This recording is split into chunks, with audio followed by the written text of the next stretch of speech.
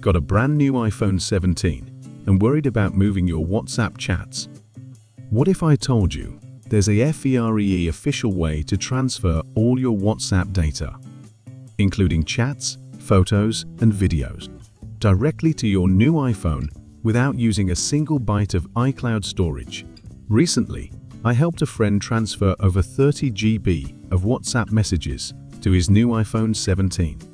It was fast, private, and completely free.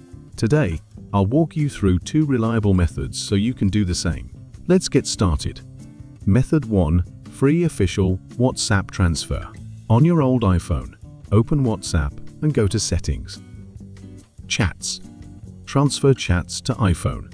This new official feature lets you securely migrate your chat history without needing iCloud. Now switch to your new iPhone. Download and install WhatsApp, then register with the same phone number you used before. After registration, a QR code will appear on your new device. Make sure both iPhones are on a stable Wi-Fi connection. On your old iPhone, scan the QR code displayed on your new one. This links both devices and begins the transfer. Keep the phones close together and unlocked during the process. When it's finished, tap Next on your new iPhone, enter your WhatsApp name, and you're done. All your chats, photos, and videos will instantly appear on your new iPhone. Method 2. Professional Transfer Tool. If the free method gets stuck or fails, don't worry. You can use iCareFone Transfer for a faster and more stable solution. Here's how download and install iCareFone Transfer on your computer, connect both phones with USB cables, and unlock them. Set your old iPhone as the source and your new iPhone as the destination. Then click Transfer. The program will back up your WhatsApp data from the old phone and restore it to the new one.